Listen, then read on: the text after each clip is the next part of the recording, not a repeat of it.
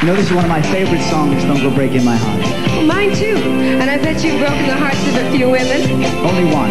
My mother's when I moved away from home. Sure, Andy. Honestly.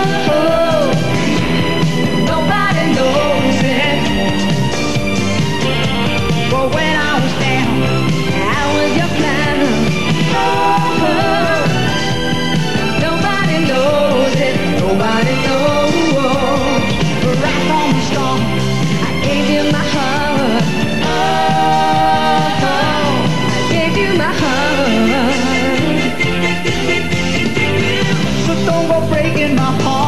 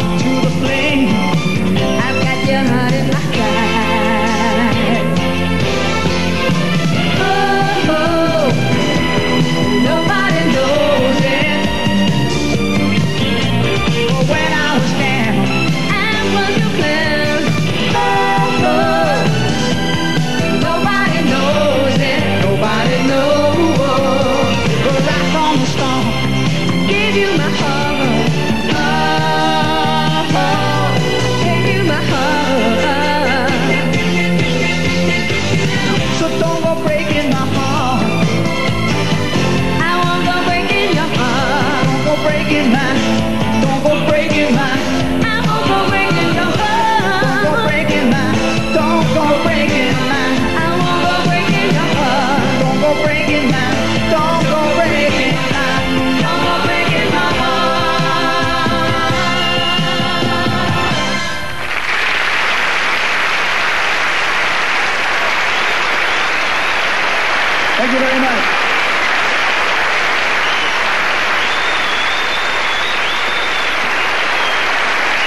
very much.